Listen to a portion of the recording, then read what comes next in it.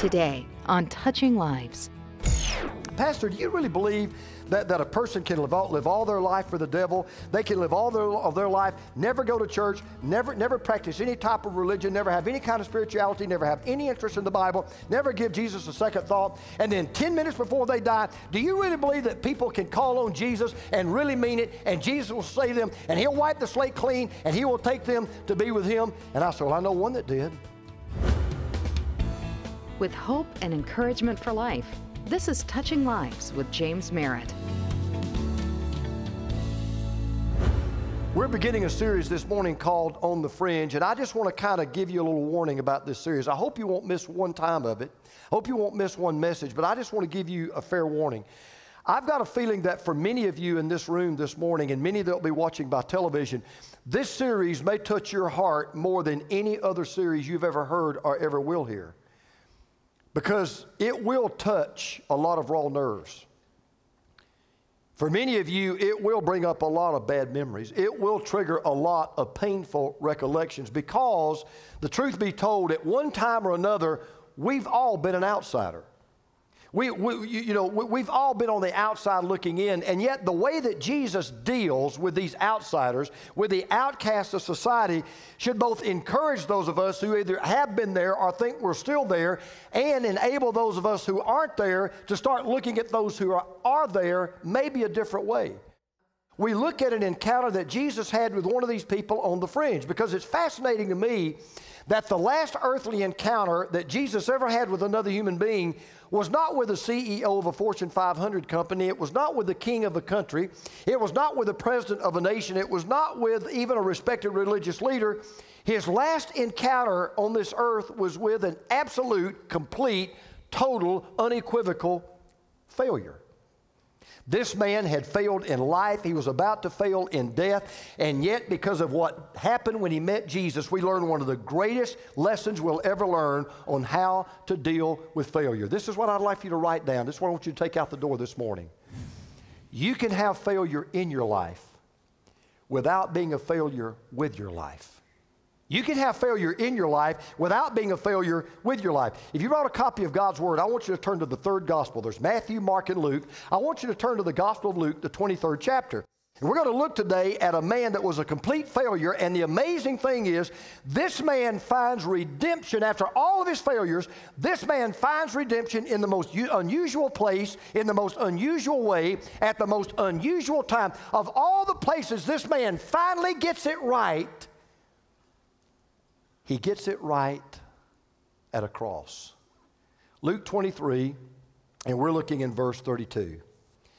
Two others who were criminals were led away to be put to death with him, and when they came to the place that's called the skull, there they crucified him and the criminals, one on his right and one on his left. Now it's interesting that Jesus was crucified between two criminals. Let me tell you why. Normally, People were crucified in groups compared to the kind of crime that they committed. And what that centurion should have done that day was crucify the two criminals by themselves and crucify Jesus by himself because he was guilty of a totally different crime. As a matter of fact, nobody had been crucified for what he was accused of. He should have been crucified by himself. What that centurion didn't realize was the reason why he put Jesus between those two thieves is because he had to. Because Isaiah had prophesied 750 years earlier that the Messiah would be numbered with the transgressors. He would be crucified with sinners. This is the only crucifixion in the history of the world that was ever predicted to happen exactly the way it happened. And what makes it even more unusual is you've got these three men being crucified for a crime, but there's one big difference. Two men are being crucified for a crime they did commit, one man is being crucified for sin he didn't commit. But therein lies a great word for those of us here this morning. No matter how badly you have failed in the past, or no matter how great a failure you may think you are right now, I want you to write down two or three things. Number one, Jesus will take us under any condition. Jesus will take us under any condition. Now, I have to be honest with you, and I, you know, I'm not God and don't claim to be, but if I had been God the Father, I would have at least let my son be crucified with white collar criminals. Okay, I mean, at least you know, let him crucify somebody you know, dying in a shirt and tie, right? I mean, somebody that just maybe embezzled some money or took some money out of the cash box. No, he's crucified with what Luke calls criminals, and that's kind of a, or you may have it in your version, a thief, which is kind of a cleaned up version. What that word literally means, it's the Greek word that literally means evildoer. Matthew and Mark use a different term that literally means violent robbers. In other words, these were not just petty thieves, these were, these were not pickpockets. These guys had a rap sheet a mile long. They were bad to the bone. I mean, they were really bad. Most likely, they were paid assassins. They were guilty, no doubt, of multiple murders in the first degree. If they were alive today, they would have been a part of a street gang, the kind of a street gang that you can't even join till you murder somebody. So, about anything you could imagine they did, they did it. They murdered, they raped, they stole, didn't matter. Any crime you could think of committing, they committed it. And you could have written their biography in one word fail. As a matter of fact, they were such losers and such failures, they were so inconsequential and so unimportant that we still don't even know their names. We're never even told who they are. They had failed at doing anything right. They have succeeded at doing everything wrong. So it looks like these two guys have just wasted their time and wasted their breath. They've lived a wasted life. They're about to die a wasted death. And then something radically changes. Verse 39. One of the criminals who were hanged railed at him, saying, Are you not the Christ? Save yourself and us. But the other rebuked him, saying, Do you not fear God, since you are under the same sentence of condemnation? We indeed justly, for we are receiving the due reward of our deeds, but this man has done nothing wrong. He says, Wait a minute. You're getting what you don't deserve. We're getting what we do deserve. And to me, it may be the greatest story of a conversion in the entire Bible because the same mouth that had been cursing Jesus and reviling Jesus just a few minutes before is now defending Jesus. And you're probably asking the same question I asked myself when I was going over this message I, that I never thought before. Well, what happened? What in the world could have happened hanging on that cross that would have made that man do a 180 and say, wait a minute, you're not a criminal like me. You are the Christ. You're not a sinner like me. You're the Savior. There's something different about you. And I'm thinking, what happened? He didn't, he didn't see Jesus perform a miracle. He didn't hear Jesus preach a sermon. What in the world happened to that thief to make him change his mind? And according to Luke, the only thing that this thief had heard Jesus say up to this point, verse 34, and Jesus said, Father, forgive them, for they know not what they do. And somehow, when Jesus said that, and that thief sees this man respond to people who are crucifying him and condemning him and cursing him. All of a sudden, like lightning going from one end of the sky to the other, this truth flashes before his eyes. He says, Hey, I get it. Jesus, you don't deserve to die, but I do. I'm a sinner, but you're the Savior. I'm a criminal, but you're the Christ.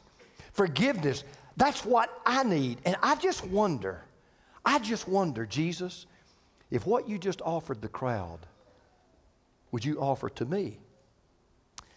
And I, have just got a, my feeling, probably with not a lot of confidence, with fear and trembling, probably couldn't even look Jesus in the eye.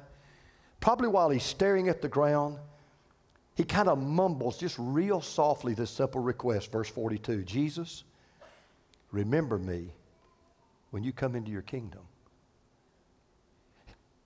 He didn't say, Lord, I want to be honored when you come into your kingdom. Lord, I want to be blessed when you come into your kingdom. Lord, I want to be rewarded when you come into your kingdom. He just says, Lord, since everybody else has forgotten me, would you just remember me when you come into your kingdom? Jesus, would you remember me? Would you, Jesus, give me what I deserve the least, but what I need the most? Jesus, would you give me forgiveness and would you just give me a place in your kingdom? Now, most of us know the story, so we already know what happened, right? We know the answer. You may be here and you say, I've never heard this story in my life. Well, if you know anything about Jesus, you can figure it out. I mean, you know Jesus wouldn't say, Now you lose, right? I mean, we, you, you, say, Well, no, I, am sure that, you know, he did because, here's what I want you to understand this man needed what Jesus had to offer, but he couldn't offer Jesus anything that Jesus either needed or wanted. This guy had no leverage. He had no bargaining chips. Couldn't make a deal. You know, I've heard people say so many times, I've heard people tell me, you know, they get sick and they get cancer, or they get this or they get that. And they'll come and you know, Pastor, I got this and I got that. And I told God, God, if you'll heal me, I'll go back to church. God, if you'll heal me, I'll do this. God, if you know, we've all kind of, you know, we've all kind of made a deal with God. Well, how's this guy going to deal with Jesus? What's he going to say? Now, now, Jesus, if you'll remember me when you come into your kingdom, I'll go to church. Oh, you ain't going nowhere. Uh, uh, Jesus, if you'll remember me uh, when you come into your kingdom, I'll be a better husband. I'll be a better dad. I won't cheat on my income. I'll tell you what, I'll start tithing if you just remember me. No, he realized that Jesus had something he needed that he was offering. He had nothing to offer Jesus. And I want you to hear this. If you're out there right now listening to me and, and you're that failure, and, and you're the one that's blown it, and you're the one that you feel like, well, there's no way, God, you don't even know the skeletons in my closet, Pastor. You don't know how bad I've messed my life up. There's no way God would ever accept me. I want you, if you don't hear anything else I hear, I want you to hear what I'm about to tell you. What you're about to see in this story is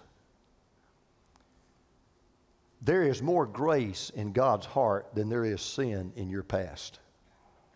There is more grace in God's heart than there is sin in your past. Because watch what happens. Not only do we learn that Jesus will take us under any condition, we also learn we can trust Jesus at any moment. We can trust Jesus. Now, listen again to what this criminal says, verse 42. Jesus, remember me when you come into your kingdom. It's kind of interesting.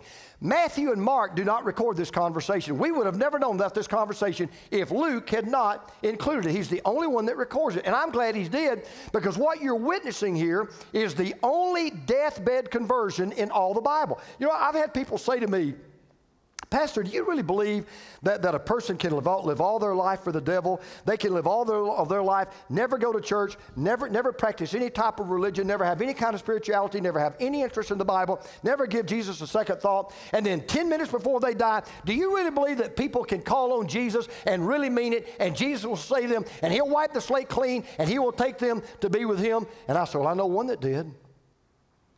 I know one guy that did.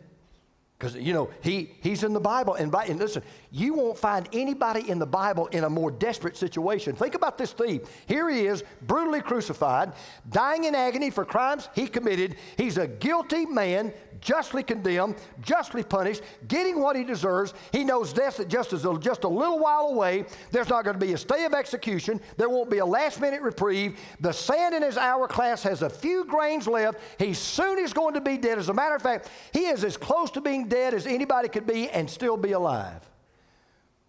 And at the last moment, probably, this is my own opinion, I think with his last, last breath, because we're not told he ever said anything else, with his last breath, he makes this one final appeal to the Chief Justice of the Supreme Court of the universe. And I will tell you one more time it is the most amazing example of faith in all of the Bible. Because here's a man who is just minutes away from slipping off the clothes of earth, putting on the clothes of eternity. And he says, Jesus, will you remember me when you come into your kingdom? And Jesus makes a reservation for this man in the kingdom. Now, think about this. All this guy said was, Remember me because all he had to offer was himself. I mean, he couldn't say to Jesus, uh, Jesus, remember my good works, because he didn't have any. Um, Jesus, remember my church attendance. He never went. Well, Jesus, now you remember all my offerings. He never gave. All he could say was, Remember me. Just remember me. We've all been there. It's the cry of the mother who gives birth to that stillborn child. And all she can say is, Lord, help me through this. It's the broken heart of the widow who's lost her spouse of 60 years and now she's all alone. And all she can say is, Lord, please don't forget me. It's the unending plea of that bedridden person that suffers incredible pain 24 hours a day, and all he can say is, Lord, see me through this. And it's what he said next that's just, this is, what, this is the part that boggles my mind. What boggles my mind is not that he said, Remember me. That's not the part that blows me away. The part that blows me away is the second thing that he said Lord, remember me when you come into your kingdom. What? Jesus never looked less like a king in his life. You do understand. Jesus had been beaten to a pulp.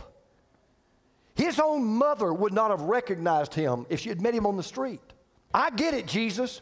You're not a criminal. You're not, you're not just even a king. You're the king of kings. And when you come into your kingdom, I want you to remember that. And, and listen, don't, don't miss this. This is big. This man was never baptized, never took the Lord's Supper, never went to confession,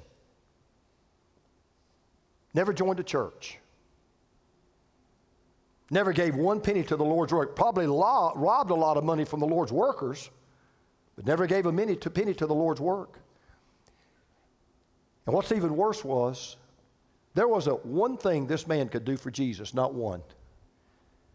And there was a one thing this man could give to Jesus, not one. And the only thing he had left was to accept what Jesus was doing for him. And what does Jesus say? Man, you just gotta, you just gotta get happy with this, right?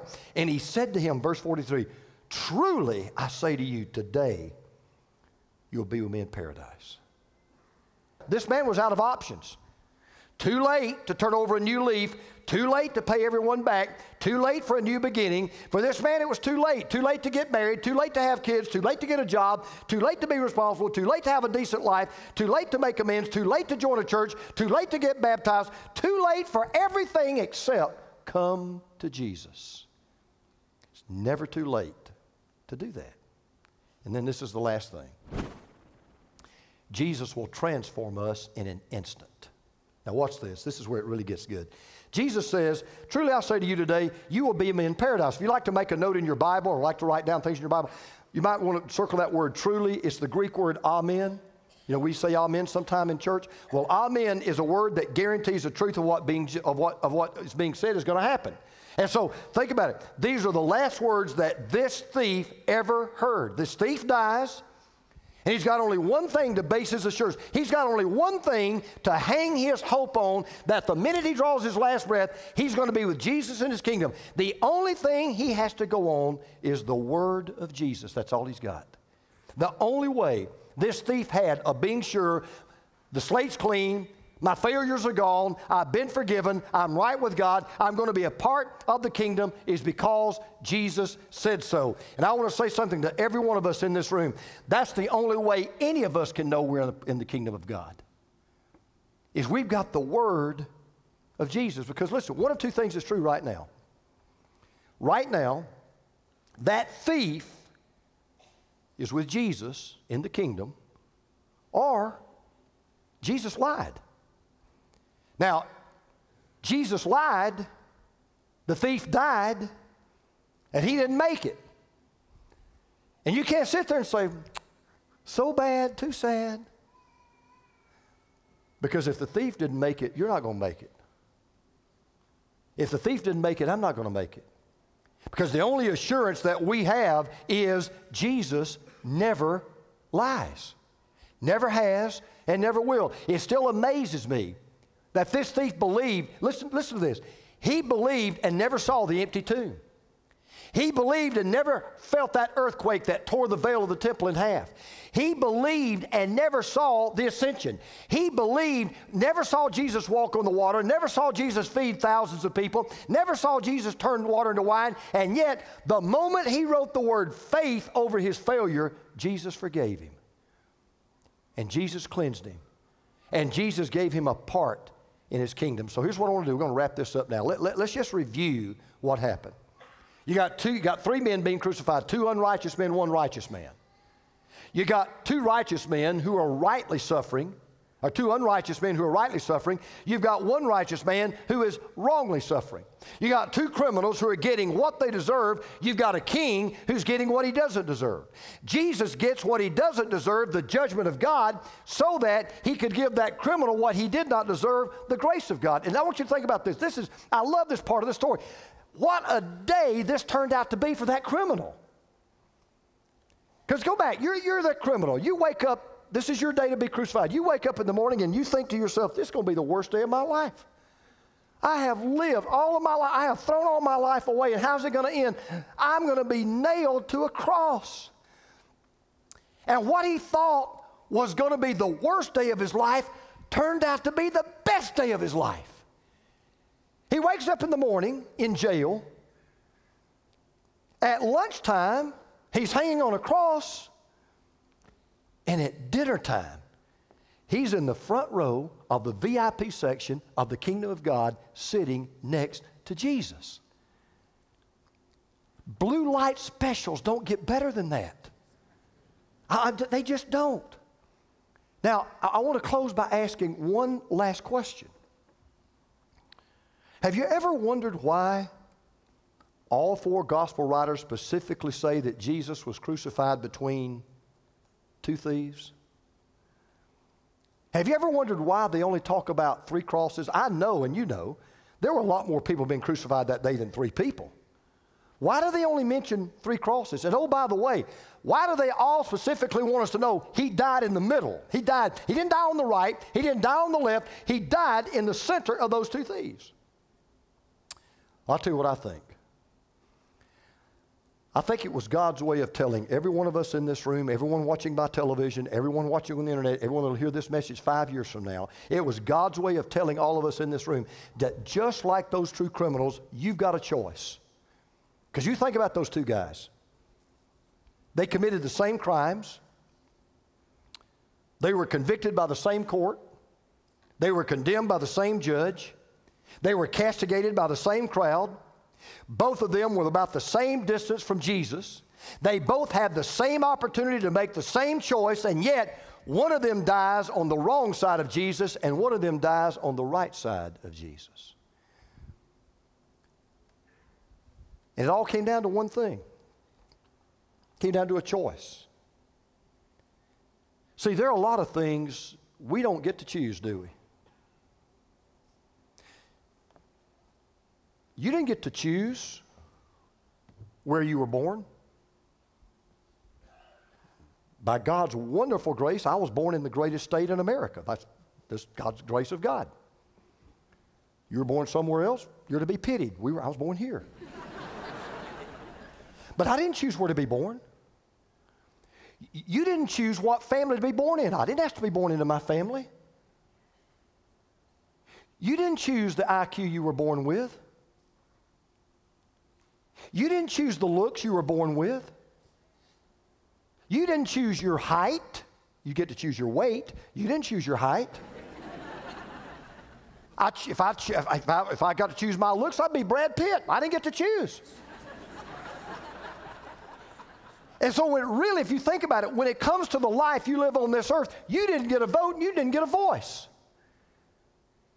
And you sit there and you say, well, you know, that's really not fair. Wait a minute, God does something better. All the things you didn't get to choose, they're all going to go by the wayside one day anyway. But the most important decision, God says, you know, when it comes to your eternal destiny, when it comes to where you're going to spend forever and ever and ever, you get to choose. It's up to you. I'm going to do everything in my power as God to give you a chance to make the right choice, but in the end, it's up to you. So here's the point you have failure in your life, but you can choose not to be a failure with this life. Because this criminal had made a lot of bad choices in his life. But let me tell you about this criminal today. He's not spending eternity reaping the fruit of all those bad choices, he's enjoying the fruit of the one good choice that he did make. And in the end, if you want to, if you will make the best choice, which is trusting Jesus, he can wipe out all the bad choices. So you walked in here today and you're sitting there and you're saying to yourself, Boy, Pastor, I wish I could make up for all those failures in my life. You can. Because when you make one good decision for Jesus, you can cancel out all the other bad decisions you ever made. So here's the point. So, what's it going to be, guys and gals? What's it going to be? Before death, these two criminals were separated by about 12 feet, but after death, they were separated by eternity. And what separated them was not the degree of their wickedness, it wasn't the magnitude of their failure. What separated them was real simple one rejected Jesus, one received Jesus. And every one of us is going to die one of two ways. You will either die with a clenched fist in the face of God, or you will die with an open hand to the heart of God. You may have failure in your life. You don't have to die a failure with your life. And you can make sure today you are a part of His kingdom because if you say, Remember me, Jesus says, I will. Are you struggling with the guilt and heartache of past decisions? Does your failure seem so big that you can't see a way out? Don't battle your situation alone. Call Touching Lives at 800 413 1131 today. We want to pray with you. There is hope. Jesus is waiting to turn your failure into forgiveness. We know that failure is inevitable, but it doesn't have to be the last chapter in our lives. The aftermath of making bad choices can leave us full of regret, guilt, even heartache. But Jesus came to help us put failure behind us and to turn things around. Don't let the ghost of failure steal your future. Learn how to move beyond your past mistakes and move toward all that God has planned for you with the series On the Fringe. Order your copy today at touchinglives.org or call 800 413 1131. Jesus didn't come to earth to hang out with those who had it all together. He gravitated to the ones we tend to run away from. Those are the people who need to know how much He cares, how He longs to have a relationship with them. Because of your prayer and financial support, Touching Lives is able to share this message of hope around the world.